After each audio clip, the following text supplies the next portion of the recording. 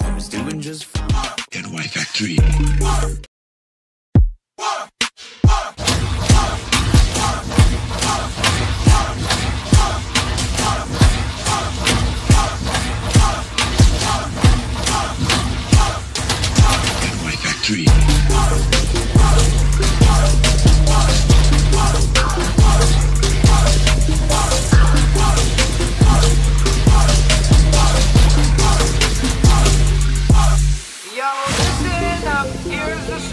about a little guy that lives in a blue world. And all day and all night, and everything he sees is just blue. Like him, inside and outside, through his house with the